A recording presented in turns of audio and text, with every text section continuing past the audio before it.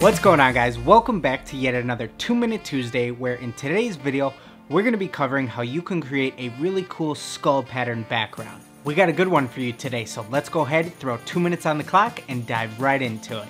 Alright, so there's a couple things that you guys are going to want to have predetermined before you lay down any paint.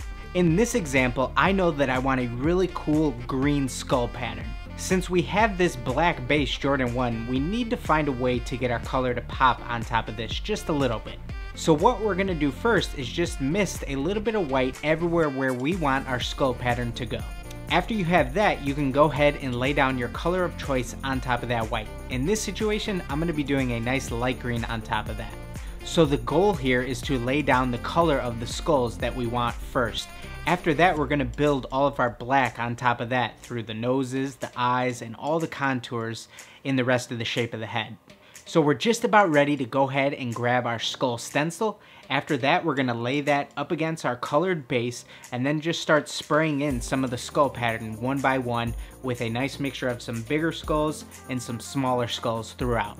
One thing that I'll do to create some extra depth with some smaller skulls is go ahead and spray a little bit of extra white and then a different color on top of your green and then some smaller skulls on top of that to really create a nice interplay amongst colors and then you can have some of the really tinier skull pattern laying out on top of that where everywhere you look you're seeing different skulls and then my recommendation when you're spraying this skull pattern is to just do each skull one by one. Don't try to spray too many skulls at once. This way you can have a nice variation in the pattern facing the skulls in any which direction you so choose. Less is more for sure when it comes to laying down your skull pattern, and it's definitely a good idea to take a step back, look at the entire shoe and then say, okay, I want a little bit more in this spot or a little bit more in that spot. There's so many different things that you could build with this skull pattern. You can add a vignette on top of this whole thing to give it an even grungier look, or you can use it as a simple background, possibly comboing it in with some flames.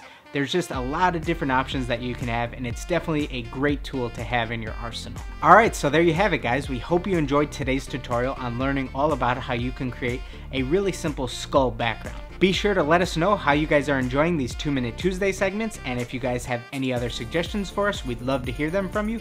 Make sure you give today's video a like, make sure you're subscribed to the page, and we will see you guys in that next video.